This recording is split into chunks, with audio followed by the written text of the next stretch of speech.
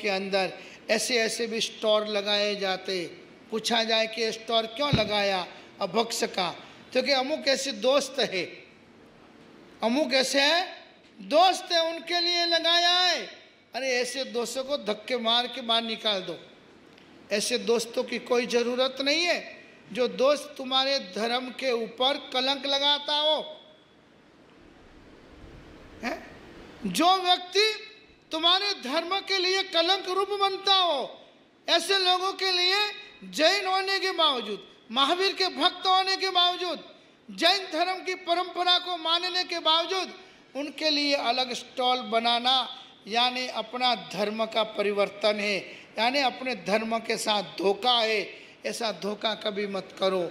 ऐसा करते हो तो आपको ये बोलने का अधिकार नहीं है कि हम, हमें गर्व है कि हम जैन हैं। तो पुण्यवानों, यहाँ पर विमल मंत्री गुरुदेव के पास आए। विमल मंत्री गुरुदेव के पास आए, जिन्होंने इतिहास बनाया है, गुरु के द्वारा ही बनाया है। भगवान को मोक्ष में चले गए। वो कहीं आपको देने आने वाले नहीं है। वो कोई वास्केप डालने आने वाले नहीं है। भगवान की भक्ति, आत्मकल्याण अवश्य करेगी। विमल मंत्री गुरुदेव के पास पहुँच गए, गुरुदेव, क्या करूँ? अढड़क संपत्ति है। खूब कमाया हूँ, मगर बेटा नहीं है। गुरुदेव ने कहा, कल आना। गुरुदेव ध्यान में बैठे, माला में बैठे, दूसरे दिन भगत आया। बोला कि, भाई, योग तो नहीं है। योग तो नहीं, होगे नहीं मासी, किकर भी करो। कोई भी पोथी खोलो के अमुक भगत तो ऐडा વે ને કે ઘરે પડે અને અમુક ભગતને કીધું મેં કે काले આવજો तो रोज सुबह आई बैठ जाए। अच्छी बात है। रोज आके बैठे वो बहुत अनुमोदना की बात है। मगर रोज आकर बैठकर धर्म सुनने का, आशीर्वाद लेने का, धर्म की बात पूछने का, मगर वो एक की एक बात नहीं पूछने का। पर आजकल तो क्या विवेक नहीं है। औचित्य नहीं है। कभी गुरुओं के पास आए हुए नहीं है तो एक ही है, बस मिल जाए। अरे नहीं, गुरुओं को भी उनके गुरु का आदेश लेना पड़ता है, उनके इष्ट का आदेश लेना पड़ता है। माला में रजा लेनी पड़ती है। दो महीने मिले रजा छः महीने मिले रजा और बारह महीने मिले रजा। और कभी न भी मिले तो भी पीछे छोड़ दो नहीं। आवतू रहनू, नज़रों में आवनू मैं तो रोज़ बोलता हूँ कि गुरु के पास मांगो मत, मगर पहुँचो। गुरु के पास हमेशा पहुँचते रहो। मगर रोज मत परेशान करो। कोई तो आयन वंदन भी नहीं करे। सुख साथा ही नहीं पूछे। अन बैठा नहीं के वाद चालू भाजी कदी है हमारे हमें धंधारो योग? खूब नुकसान हुए खूब यूँ हुए वाली मानती नहीं है, घर में झगड़ा है, ये सब है समस्या। पाप का उदय है तो ये सब शुरू हुआ है अब बीमारी गंभीर है तो रिलायंस में भर्ती रहना पड़े અને વન में ऑपरेशन भी वे आईसीयू में भी राखे અને કતરા લંબો ટાઈમ બી હાલે મહિને મહિને પાછો ચેકિંગ કરવા બોલાવે પણ ખરા છ મહિને બી ચેકિંગ કરવા રિલાયન્સવાળા બોલાવે વન ટાઈમે કેવી સ્થિરતા રાખો તેની શાંતિ રાખો પણ મોરે અટે આવવાવાળા એટલે પછી મેં બી પાછા ક્યાં વહી જાઉં સિર દર્દ રહી જાય કે ઓ ખટ્ટેથી આવ્યું વળી નવું પાર્સલ મોરે વાસ્તે તો પાર્સલ જ है सावक नहीं है सावक तो सज्जन होता है सावक विनयवान होता है सावक समर्पित होता है सावक गुरु के पीछे जाने आने वाला होता है खाली काम हो जाए काम पड़ जाए आवे वो सावक कभी नहीं होता है इसलिए आ, विमल मंत्री भी गुरुदेव के पास पहुँच गए। वर्धमान श्री उनके गुरु थे। जिन्होंने जिन्होंने भी इतिहास बनाया सोहन जी, वो भटकती आत्मा ही नहीं थी। उनको कोई न कोई गुरु था।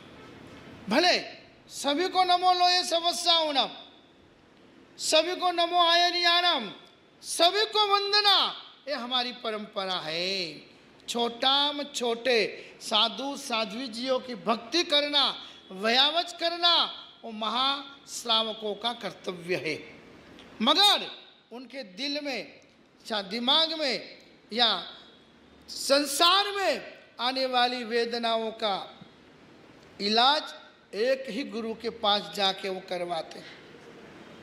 तब जाकर गुरु को भी टेंशन रहता है कि ये भगत का काम मुझे ही करना पड़ेगा और कोई जगह जाने वाला नहीं है हम गुरु को भी मालूम होता है कि वो वटे गयो वटे गयो वटे गयो અને આજકાલ तो आंखों थी भी दिखी जे कि कौन कटे काई लगावे है काई छपावे है इसलिए फिर वो नमो इंतानम धर्मलाभ भी रहता है और कुछ नहीं होता है यहाँ पर बोला गुरुदेव इतनी संपत्ति है बेटा नहीं है गुरुदेव ने कहा एक दिन रुक देखा बताया योग नहीं है। नहीं गुरुदेव, कुछ न कुछ तो करना ही पड़ेगा। गुरुदेव ने अंबिका देवी का मंत्र दिया। कहा दिया? अंबिका देवी का मंत्र दिया। और बोला कि जंगल में जाकर एकदम शांत वातावरण हो वहाँ जाके मंत्र की साधना करना है। पहले के श्रावक डरते नहीं थे। जंगलों में ही जाते, जंगलों में ही आते, गाड़ों में ही जाते, घोड़े में ही जाते। और इसलिए वो सुरवीर रहते डरपोक नहीं रहते आज तो घर में होता हो लाइट चाली जाए चार चूहा भेरा बहन मस्ती करे घर में हमें लाइट आ गई वे तो कई दिखीजे અને પછી એનો એનો અવાજ કરે મિનકી વે ને वो तो एड़ो अवाज करे कि जाने कोई आदमी बात करता वे हुणे कोई दी एड़ो अवाज करे मिनकी यूं लागे कि बे आदमी कोई बात करे અને વન में લાઈટ ચાલી ગઈ વે અને ભાઈ સાહેબને આટે डर ડર લાગતો હોય तो नींद आवे? नहीं आवे नींद। विमल मंत्री को मंत्र दिया, जंगल में जा रहे थे, कोई अच्छी जगह खोजने के लिए। पहले के समय में हमारे पूर्वजों को खेतीबाड़ी भी थी, उनके खुद के फार्म हाउस भी थे, उनकी खुद की ज़मीनें भी थी, कि जब बीमार हो जाए, अस्वस्थ हो जाए तो वहाँ जाके रहते थे। अभी युगराज जी जैन जो आए थे, युगराज जैन बहुत बड़ा धन धन धनाढ़ व्यक्ति है। मगर छले दस साल पहले उनको एक रोग आ गया। पूरा शरीर धुजे, हाथ, पाँव सब ऐसे ध्रुजे लिख सके नहीं, खड़े नहीं रह सके। सोचा दुनिया की सारी दवाएँ करा ली। फॉरेन जाए, मुंबई गए, कोई दुनिया, कोई हॉस्पिटल बाकी। छेल ने सोच किया कि नहीं, शुद्ध हवा। शुद्ध खाना, शुद्ध रहना, उसके सिवाय मेरा रोग जाने वाला नहीं है। उन्होंने खुद ने खुद के गाँव बिजोवा के अंदर गाँव के बिल्कुल अटैच में गाँव के बाहर ढाई सौ गायों की गौशाला खोल दी। पति, पत्नी और पाँच सात नौकर रखकर वही रहना चालू कर दिया। छेले सात, आठ वर्ष से नॉन स्टॉप बिजोवा रहना चालू। दस दिन, पाँच दिन कोई खास काम हो तो मुंबई आवे आज उनके शरीर में आपने देखा ने अस्सी टका उनका वो सब बंद हो गया बिना दवा। अस्सी टका।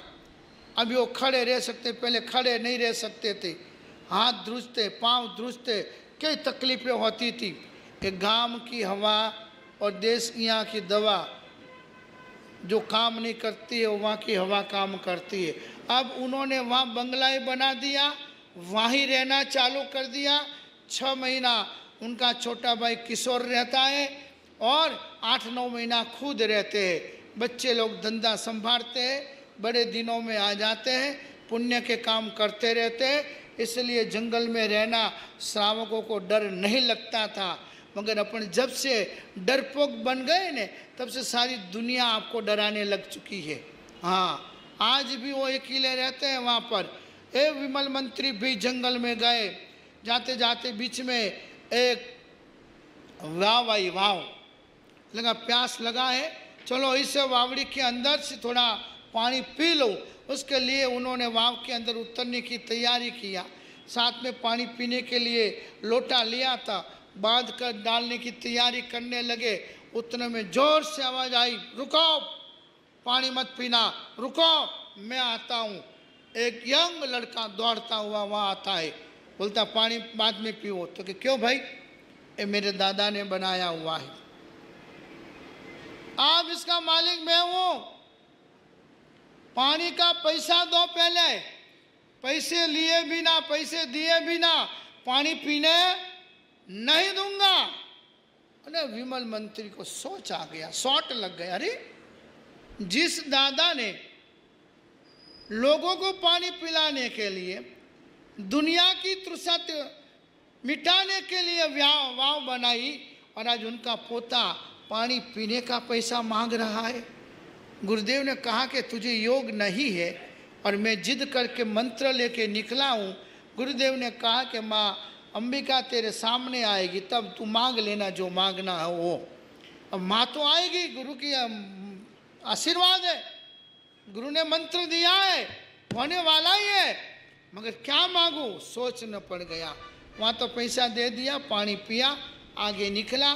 खुद की जो जगह फार्म हाउस वगैरह था, वहाँ जाके वो किनारे पे जाके बैठ गए। माँ अंबिका देवी की साधना करने के लिए माँ वहाँ हाजिर हुई। विमल मंत्री को बोला, मांग बेटा, आरस चाहिए के वारस। क्या बोला? मांग बेटा, आरस चाहिए कि वारस चाहिए? आरस यानी मंदिर, वारस यानी बेटो, क्या चाहिए? सोच चेंज हो गई। वारस मांगूँगा और मैं करोड़ों रुपया उसको देके जाऊँगा। कल वो क्या मालूम इस रुपया का क्या करेगा?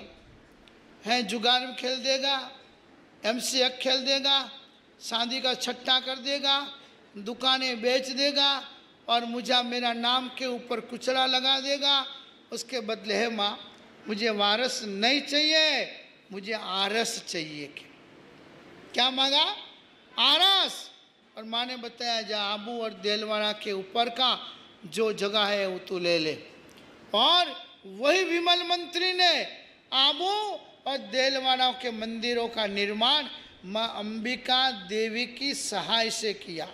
वहाँ जाते ही सारी सगवड़ता, अनुकूलता विमल मंत्री को मिली है। इसलिए हमें गर्व है कि हम जैन हैं। हम भिखारियों की तरह पैसों के पीछे नहीं दौड़ने वाले हैं। हम पैसे कमाकर इस देश को, दुनिया को हम बांटने वाले लोग हैं। इसलिए हमें गर्व है कि हम जैन हैं। ऐसे ही पुण्यवानों, वस्तुपाल, तेजपाल का छोटा भाई लुणिंग जब बीमार पड़ा हुआ था और जब वस्तुपाल, तेजपाल मिलने आए, उसकी आँखों में आँसू देखे, तब भाई ने पूछा, कितना प्रेम? बड़े भाई, छोटा भाई बीमार, उसको मिलने आए। एक भाई पाँव दबा रहा है, एक भाई सिर दबा रहा है। ये हमारा प्रेम था ये हमारा कुटुंब वात्सल्य था। मगर घर में ऐसे ऐसे लोगों की एंट्री हुई कि भाइयों भाइयों का प्रेम, शाम वात्सल्य खत्म होता गया।